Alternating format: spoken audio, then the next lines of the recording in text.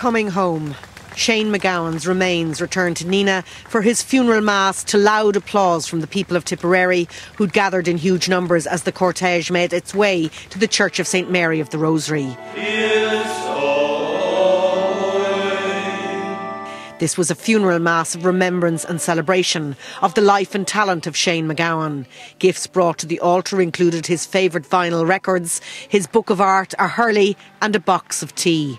Shane had a cup of tea maybe 50 times a day during his life, loved the tea. The backdrop to the funeral mass was taken from Shane MacGowan's extensive songbook, his wide circle of friends singing in tribute to him.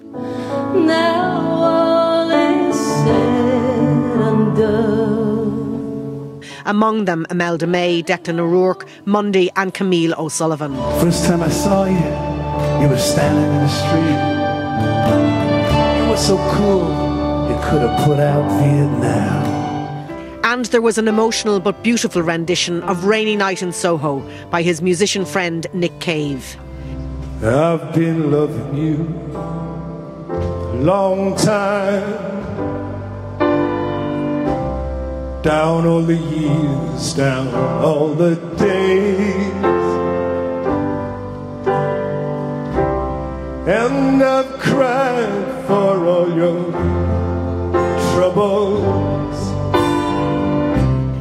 There were many readings and prayers from well known friends evoking the peace and compassion which were also emblems of Shane's personality.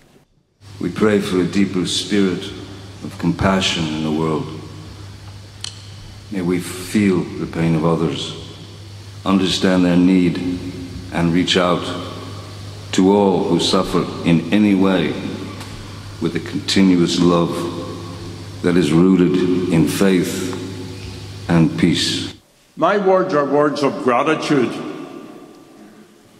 Gratitude for Shane's genius, for his songs, for his creativity, for his attitude.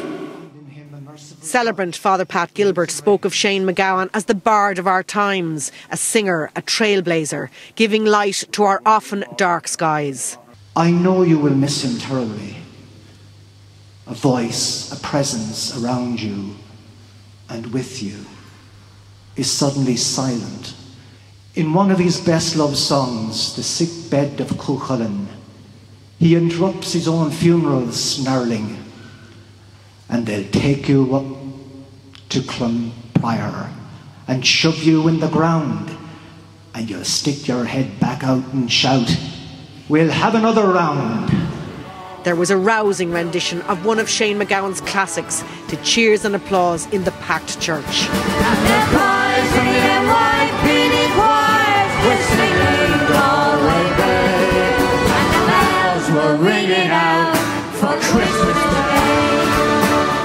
His wife, Victoria Mary Clarke, and his sister, Siobhan, spoke of Shane's enormous love of family and their pride in all he achieved.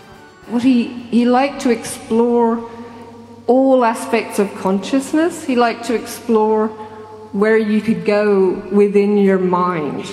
I remember him as a little boy, a bit gangly, in a blue anorak, who, whenever we came home to tip, would rush to retrieve a cap from one of our uncles.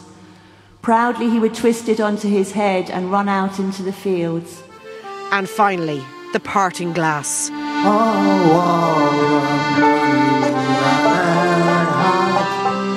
MacGowan's body was taken from the church and through the streets of Nenagh, a fitting tribute to a remarkable musician and friend whose musical poetry found resonance and relevance across the world. Kathy Halloran, RTE News, Nenagh, County Tipperary.